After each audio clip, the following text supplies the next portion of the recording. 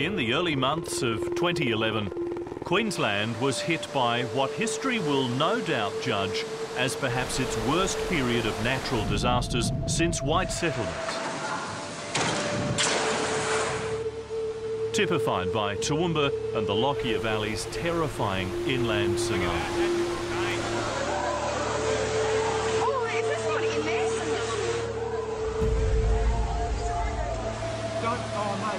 tsunami.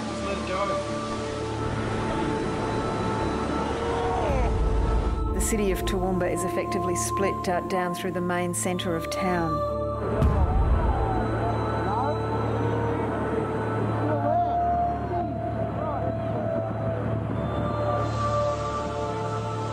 Two women have been swept away in the city centre, and emergency services earlier tried to rescue a man and a boy clinging to a lamppost.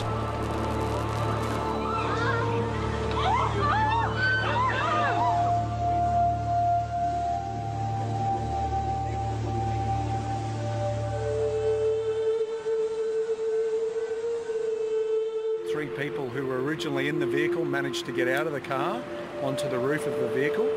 However, uh, only one of those persons was able to be rescued before the vehicle and the other persons were swept away.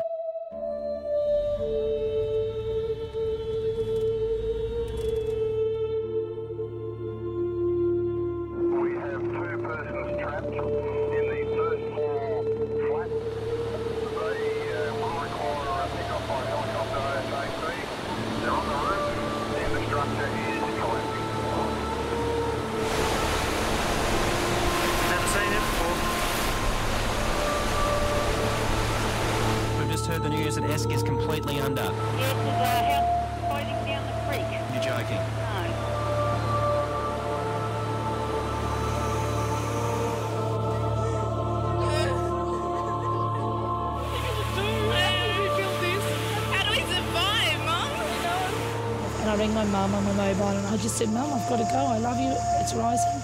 I don't think we're going to make it.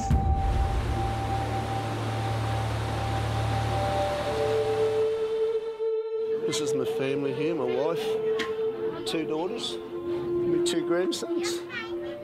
We- thought we were going to die.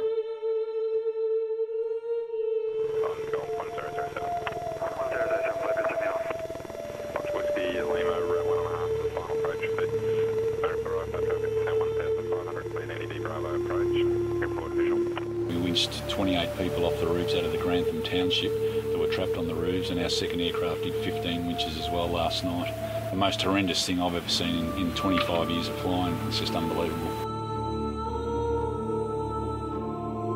Really deeply traumatised, but very grateful for us to come down and get them out.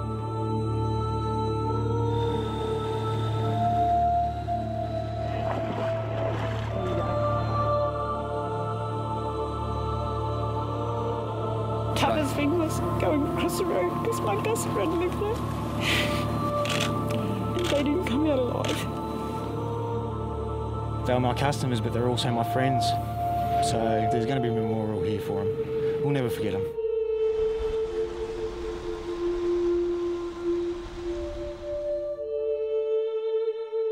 As we weep for what we have lost, and as we grieve for family and friends, and we confront the challenge that is before us, I want us to remember who we are. We are Queenslanders. We're the people that they breed tough north of the border. We're the ones that they knock down and we get up again. This program will look at how Queensland and Queenslanders have fought back. We'll be looking at not only the monstrous and costly physical challenge, but also the daunting emotional challenge faced by direct flood victims and their families, the rescuers and emergency service workers, the clean-up teams, and even the counsellors themselves. We'll look at the mistakes made and the lessons learned. As we face the undeniable fact that this has happened before on varying scales and will happen again. Join us now as we journey around this vast state. As Queensland does what it does best fights back and wins.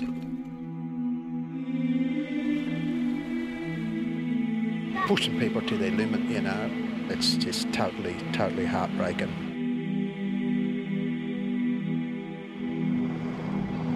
I knew she'd come up one day, but I didn't think I'd see it like this, though.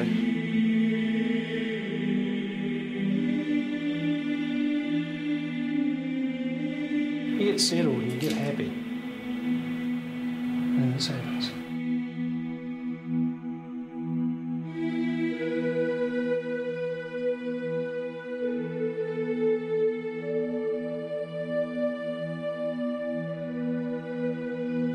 Queenslanders, mate. Everybody's got a ton of guts and the will to fight back. It's tragic when you look at the, the sadness in their faces as they, as some of these people know they're going to lose their prized and personal possessions.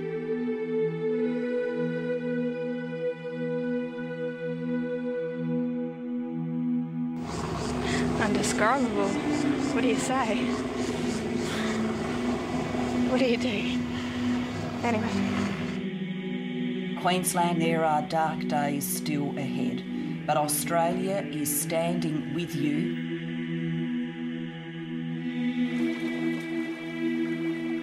One million megalitres, or two Sydney harbours, flow into the Wivenhoe catchment every day. Prepare and begin to experience the worst natural disaster in our history.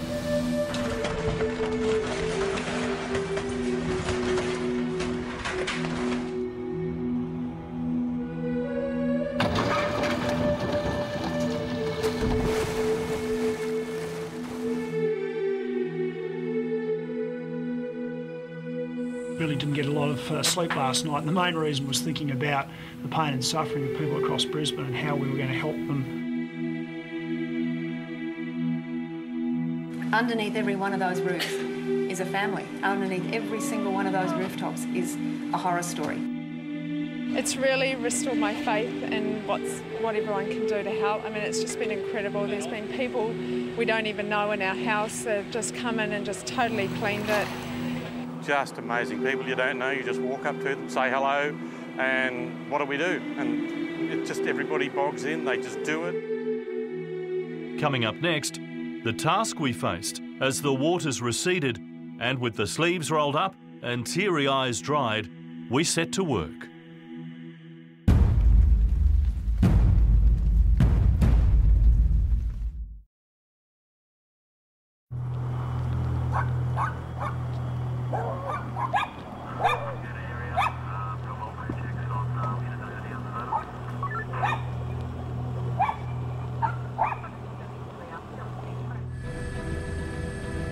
Perhaps the only thing that matched the speed and ferocity of the floodwater that hit so much of the state was the speed and tenacity of the clean-up operation and recovery.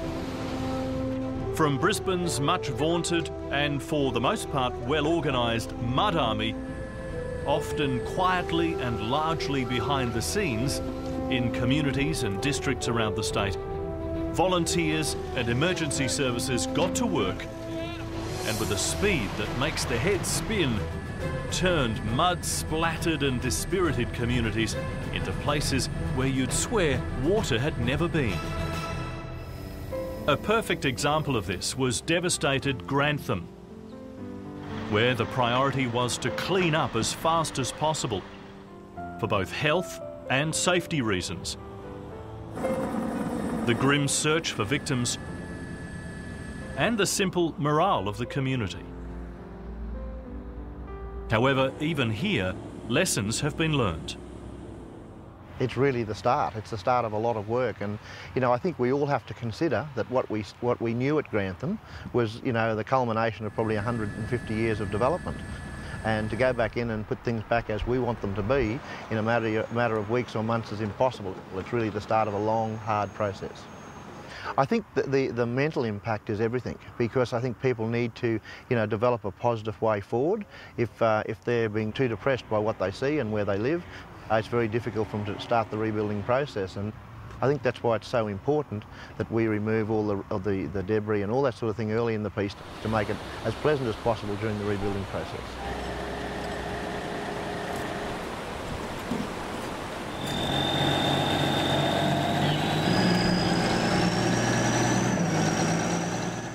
Lot of counselling will be necessary because there's some horrific situations people have been through.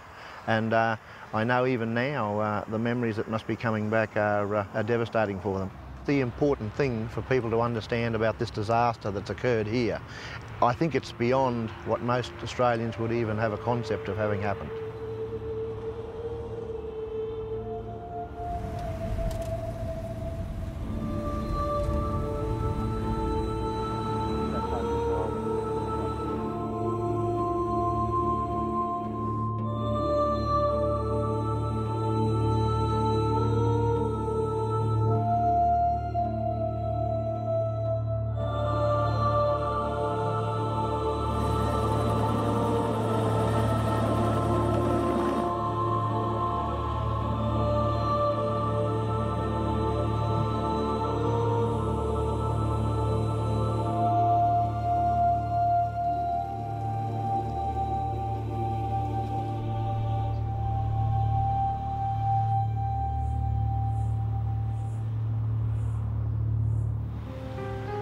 Shift, got home, put my head down, daughter knocked on the front on my door and said, Dad, there's water coming over the driveway. I got downstairs, started lifting stuff up.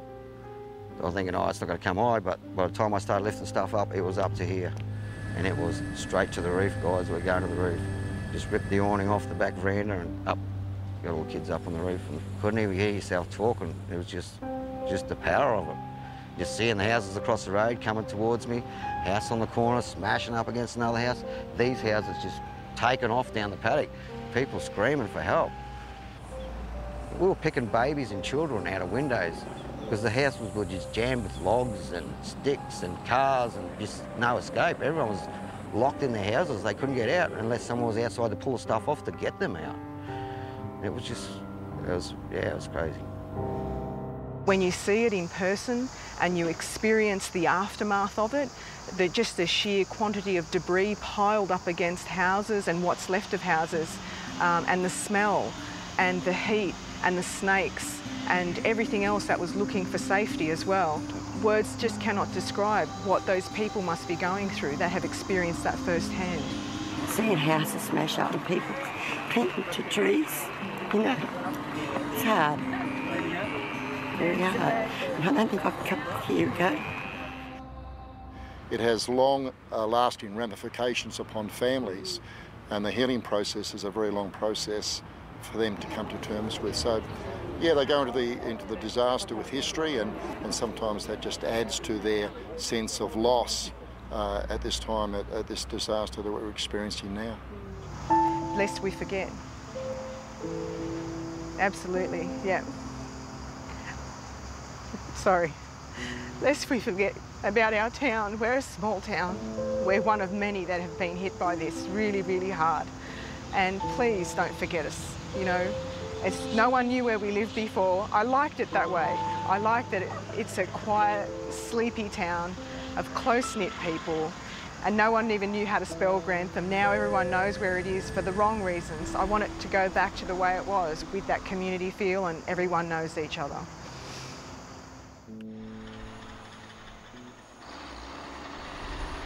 Still, life, work and recovery must go on. And within a matter of only a couple of weeks, even fields that had previously been under metres of water were being ploughed ready for a new crop. An enduring symbol of spirit and hope. All the while, work on repairing shattered infrastructure proceeded at a breakneck pace. Here at the historic Spring Bluff railway station, thankfully itself spared. The shattered causeway was well on the way to being rebuilt. Reopening the vital lines from the giant grain and coal resources of the Darling Downs. In often searing heat and humidity, contractors and railway workers put their strong backs, hearts and souls into getting the job done. Coming up, the pivotal role the giants of Queensland industry have played in getting the state up and running again. And later, the king hit of Cyclone Yasi in far north Queensland.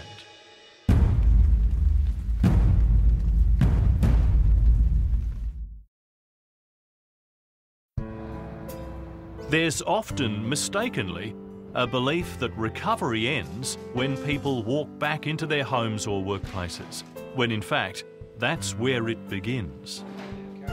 While the timber and tin, the gyprock and bricks can be replaced in months, it will take years for the memories to heal. Bundaberg hardware store owner Jason Metcalf, a man who's built his life around his business, family, and community, is typical of the raw emotion. As it was sort of happening, it was every inch of water that came in the shop was just a, another extra day and days and days and days. And obviously, when it got to filling up, we knew how much work we had to do to rebuild it. Once we were able to get in, it is emotional and it is financial. But the shining light of, of a bad situation was the community help. On the first day, we had 70 people just walking in off the street. Uh, we had the next day 80 people walking off the street. Um, people that don't know each other now working together. Digging through here, I mean, we had silt and mud and slime and chemicals and paint. Three days after it all happened, I think I calculated 12,000 12,000 working hours.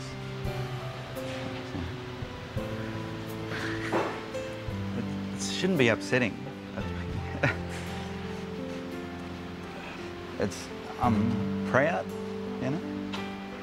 So.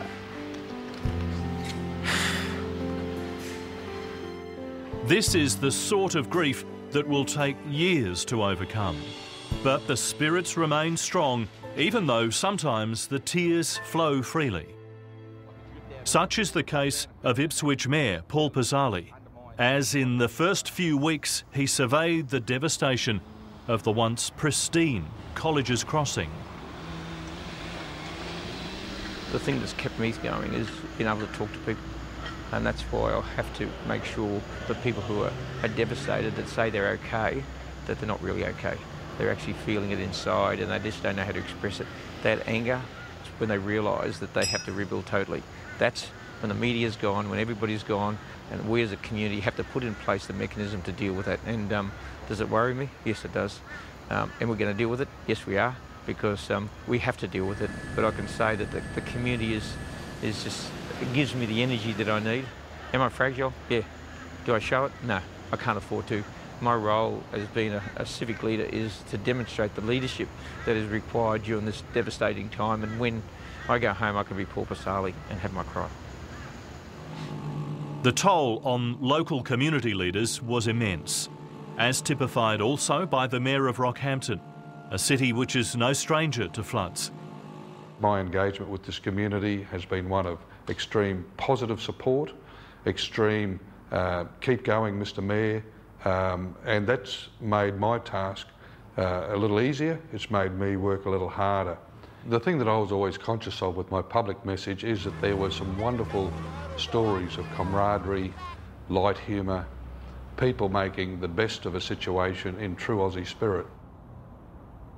Here again, the spirit of local business people, like a man whose brand new riverside restaurant, Spinnaker's Bundaberg, copped a hammering, makes your heart swell. We only did a complete rebuild nine months ago when we first took over the business and that was massively stressful. And in this circumstance, to go through it all again in such a short period of time, definitely been times where I've thought that it would be easier to walk away than go through the struggle of trying to get it back up and running. The amount of support that we've got from people that we know, people that we don't even know, has given me a lot of strength and determination. Well, they could see that we were struggling and they did everything they could to lift us and make sure that I got a bunch of lunatics here helping me out, and they, they kept their spirits up and and um, during that period. And I think I think that that's one of the things that you have to do to be able to keep going because if you don't, you're a chance of falling on your backside really.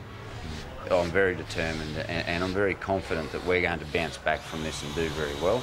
We've got some changes that we're going to make. I think we'll be bigger and better than what we ever were. Yeah. There are some who say that when Mother Nature takes it into her mind to go on a rampage, she's unstoppable. But tell that to Queenslanders. With an eye to the ultimate recovery, they turned their homes, properties, and businesses into inland atolls, using superhuman efforts and gangs of friends to build giant levee banks to protect individual dwellings. They, however, still face the mammoth task of rebuilding miles upon miles of destroyed fences and replacing years of priceless breeding stock. In one extraordinary effort, an entire motel complex in the middle of town. Larger than life Emerald motel owner Paul Pittman has vowed and declared his refurbished property will never go under again. And his solution, whilst not cheap, is innovative and shows every sign of working. Let's let him tell us his plans. We're not prepared to go through another flood like this again. So we've constructed a wall that's 1.4 metres above the last flood level. It's a filled wall and it's braced every four metres. We believe it'll, it'll hold out the water. So we're trying to uh, make sure there's no weak spots in this wall. And uh, we've only got one entry, which is at the front, which we'll, we'll sandbag up at the time and uh, put, a, uh, put a plywood uh, sheeting across. And that'll be the only weak spot. And in addition to that, if we get any water in, we've got a big pump. We call it Bertha. Big Bertha. But this, this wall should handle a, an Armageddon type flood, which we hope we never have, but you never know. So, not going to go through this again. Couldn't go through it again. So we're going to make sure we don't.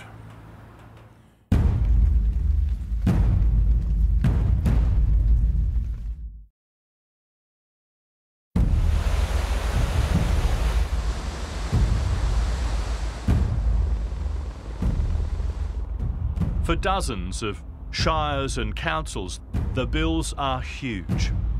Just look at this giant sinkhole at the end of a Toowoomba road bridge.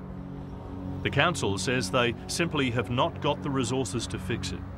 So, until some arrangements can be made, it will remain a festering sore.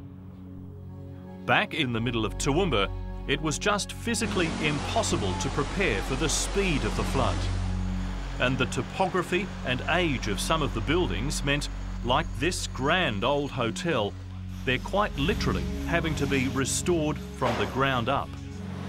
But just across the road, at a major local furniture retailer, already it's back to business as usual, after what they call the giant storm surge swept through their premises, causing untold damage and literally washing expensive stock down the street. To look now, you'd be forgiven for thinking it never even happened. And that's the story we encountered all around the state. As Queensland moves with astonishing speed to rebuild, restock, and where possible, get back into business. The message is clear. We are back, we are here, and we are open for business. A message you hear right around a battered and bruised but far from beaten Queensland. No government's ever faced a, a bigger task in the history of this, uh, this state. It, it's enormous, it's almost daunting. This is a marathon, this is not a sprint. This is going to take a long time, a strong commitment and a lot of organisation and uh, we've got to keep the people who have been out there generous of spirit continuing to be generous of spirit because when the smell goes uh, people seem to forget about it. We don't want people to forget about this. We're going to need a mammoth effort to, to really get people to continue to focus on the needs of others here. We're going to have a lot of needy Queenslanders for a long period of time. We're putting the stake in the ground and this community will put the flood behind us and we will move forward. We'll have some wonderful initiatives and uh, through our council resources and our council responsibility, we will certainly make sure that we have a planning scheme and a long-term plan for this community that will make this achieve its goal of being the most livable region in the world. Let's take a step back in time now for a moment or two to the days during and immediately after the flood and cyclone events, when the immediate priorities were sheltering and feeding the thousands of displaced families. However, in those early days, as usual, Queenslanders responded magnificently and were literally overwhelmed by the generosity as donations of all kinds poured in. Food, toys, clothes, everything dropped off. This alone was a huge task. One of the best examples of getting this all to work was in Gatton, where husband and wife team Derek and Chris Pingle and their small army set up what can best be described as a mini department store with no checkouts. People have been so generous, uh, it's overwhelming. I don't think I've ever seen uh, anything that has proven the true Australian spirit as much as it has for this effort. You know, we've had trucks and utilities and vans roll up here non-stop. Um, my phone rings every minute more than once. So two phones and they ring every minute, every minute, every minute, someone bringing a donation and it's just non-stop. And, and to deal with the logistics of placing that product and then working out who needs what and what's going to be excess um, has been a mammoth task. I think it's going to be a really, really long process. They will start to realise those special occasions when people are no longer there or the special things in their life. But we can't put back those special things. We can meet their material needs, but I don't know who's going to meet all their emotional needs or how they're going to rebuild that part of their life. Major lessons were also learned in evacuation centres, like the Red Cross Centre in the badly hit northern city of Rockhampton. There are many people who have completely and utterly lost everything. Um, however, there are a great deal of people who haven't, but they've lost something. And whatever that something may be, it's very important to them and their lives. Everybody has their own journey and their own experience of an event such as this, and they're all equally important. But one of the things that's often overlooked is, is the total community response, the way in which the community itself reclaims a sense of its own rhythms, its own events, its own identity. And that can take months and months, if not years. Whilst justifiably We've concentrated so far on the impact on homes and the residential community.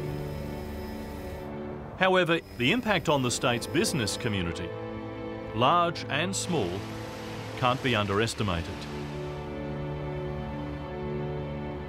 As shown in the recent state budget, huge and long term, the backbone of the state is the massive mining industry and while the miners were quick to step up to the mark in the flood relief work, the impact on the industry itself was immense.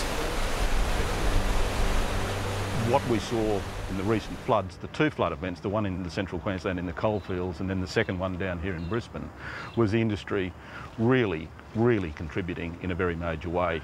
A huge amount of our own employees, uh, both in our time and in their time, volunteering to help to sandbag old people's homes, to evacuate people, and then subsequently to clean out.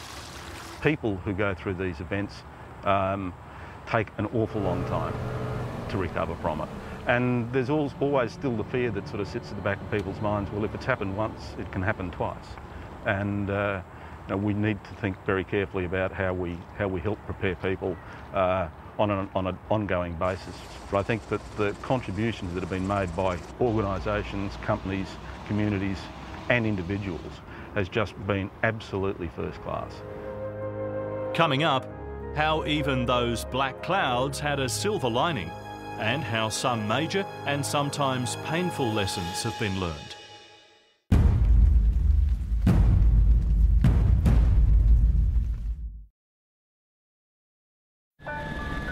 If the huge rains and the dark clouds had a silver lining, it was to fill the vast water storages of northern and western Queensland to the brim and overflowing. The flooding might have been destructive and, as we know, tragically deadly. But it also brings to the outback a bounty of life as river systems long dry are flushed out and the bush blooms. After a good clean out, even the local water sports club, long starved of their weekend recreation, were cleaning up and back having fun.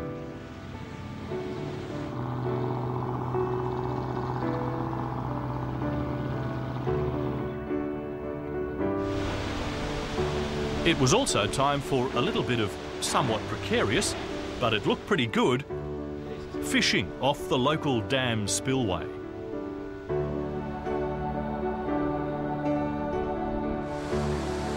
But as the water roars over those spillways, the harsh reality sinks home to many local business people and many families that the scars of this year's disasters are going to take a long time to heal.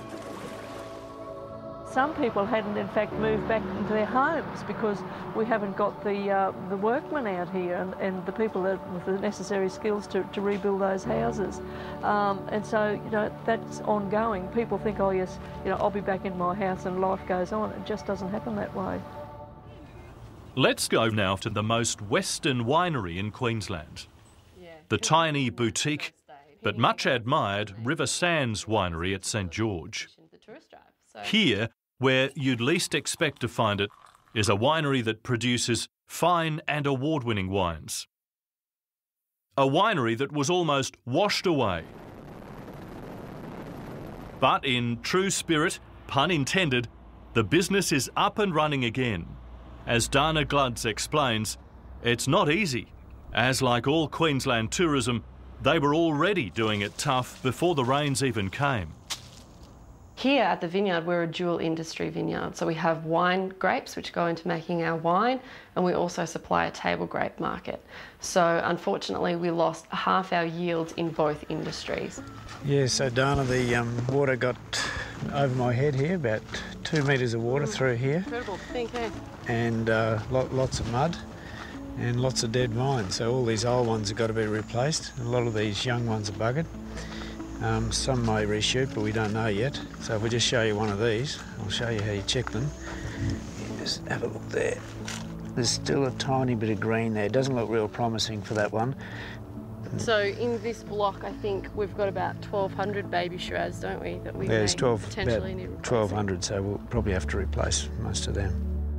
Unfortunately, donations aren't aren't actually going to sort of, you know, make it to many businesses and many tourism operators are dying for people to come back. You know, they may have been unaffected totally and so they're relying quickly on people to come back and show support and visit our beautiful area. As you can see on the way in, the vineyard's looking very luxurious despite, you know, 90% inundation. Queenslanders are great at, you know, exploration and going out and having a look at what's out west, and there's no time to do it like, like now. We're proud of our country origins and we, would like to share that with people. And we'll drink to that. Overall, though, the combination of the natural disasters, a soaring Aussie dollar, and a tight fisted domestic economy have been hard on the Queensland tourism industry. For them and us all, these are not the best of times. Let's leap forward now in time to June, when much of Queensland was gripped by a blast of freezing winter cold. However, as we rugged up and deluges and floods seemed to be the furthest things from our minds, our hearts were warmed by Queensland Week Awards, honouring some of those who represented the thousands who stepped up to the mark as heroes during those troubled times. Today we honour those who were strong when we needed strength. We honour those who were brave when we needed courage. Now stand so that we can salute you. Our disaster heroes, ladies and gentlemen. Heroes humbled as they accepted awards on behalf of their colleagues, friends and families for the roles they had played. It was really spine tingling and chilling, I guess, to, to, to feel um, such uh, emotion, you know, for, for recognition of what we did. In many cases, saving not just property, but lives in the dark days. Still to come, Queensland takes stock of one of the most tumultuous years in our state's short history. And how, sadly, already some people have begun to forget.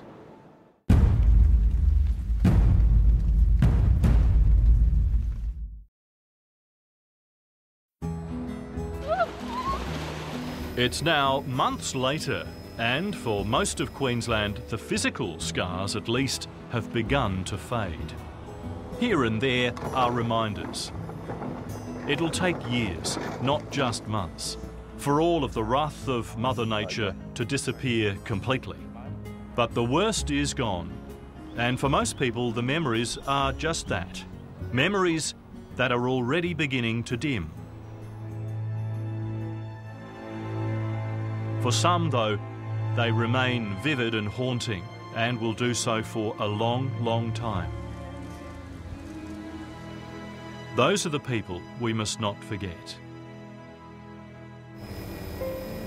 Whilst no one can question the enthusiasm and the skill of the many volunteers and the professionalism of many emergency service workers, so much so they've been praised on a world stage. However, questions have been justifiably raised about the conduct of relief work and response by some government agencies and insurance companies. Questions the Premier says will be addressed by the wide-ranging Commission of Inquiry. The findings of which she has vowed will not be left to gather dust on a government shelf. The Premier herself took centre stage during the crises. Not long after the worst was over, she sat quietly with us, not surrounded by uniforms, but in the quiet atmosphere of her executive office to reflect on what she admits was one of, if not the most challenging times of her career. I was daunted by the size of the task and the sense that I think everyone shared for a moment there that this was never going to end. It just seemed to go on and on and on, and every time we regrouped and felt we were moving to the next phase, something else would come and hit us. And that meant I had to find whatever it was inside myself uh, to keep going. And I saw people around me doing the same, out there day in, day out, giving people hope and confidence. And when you see other people around you doing it, you get, you get inspired by it as well. I felt in doing my job that I was standing on the shoulders of giants, and those giants are the people in our emergency services front line. The effort here was uh, unprecedented over an area unimaginable, and they did jobs that I think anyone else in the world would think impossible. I felt so proud of the men and women out there. I feel inspired by them, and I feel very lucky we've got them.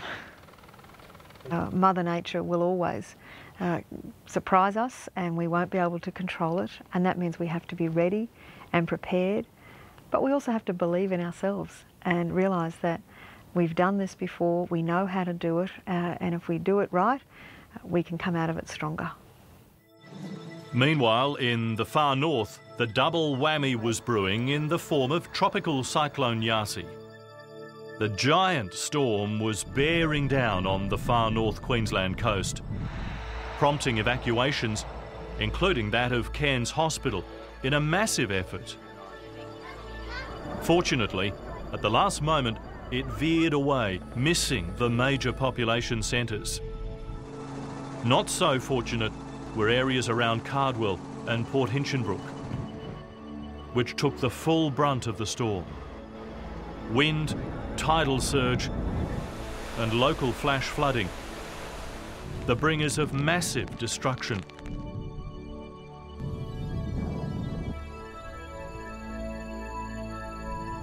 wiping some small coastal communities almost off the map. None of us thought it would be like this. We just thought a few trees would go down, and, but it's taken everything. My son summed it up and said it's like sleeping on a trampoline because it, the building didn't stop shaking. The citizens of these towns took the warning seriously and acted accordingly and cooperated with great courage and resilience and patience is the reason so many of them are safe and well and alive this morning. I live at Mission Beach. We were the, one of the first crews through on uh, the morning after the cyclone. We were able to cut our way through from Mission Beach into Tully and uh, we were one of the first ones in the main street here to arrive and uh, see the damage. The store had been destroyed, the water was pouring in through the walls, the, the stock had all gone, the fixtures and fittings was uh, all totaled. To go to Innisfail. Uh, some mornings when you get out of bed and you just think, oh my God, where am I going to start today? Um, but generally looking forward in the long term, you've got to maintain a positive outlook that uh, what we build after this will be better than what we lost. And, and I think that's the important thing to, to keep seeing the light at the end of the tunnel and knowing that you're going to build something bigger, you're going to build something better, and uh, you'll, you'll be a part of this community for the long term. We need to remember that Queensland, like the rest of this vast nation we love and call home, is prone to droughts and flooding rains. That Queensland's main cities and towns, because of history and geography, are, for the most part, always going to be vulnerable for Mother Nature's wrath. However, if we're prepared, if we learn, if we do not forget, if we remember the spirit and the courage, we can come out at the end of the day muddied but unbound.